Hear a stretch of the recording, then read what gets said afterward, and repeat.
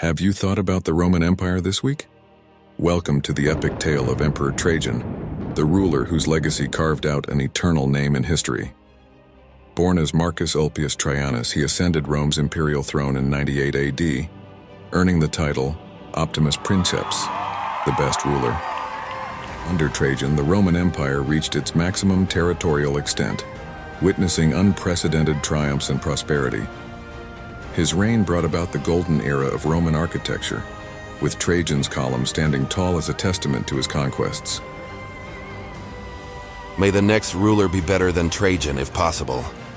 And so Emperor Trajan's name has traversed through the centuries not just as a ruler, but as a standard against which all leaders are measured.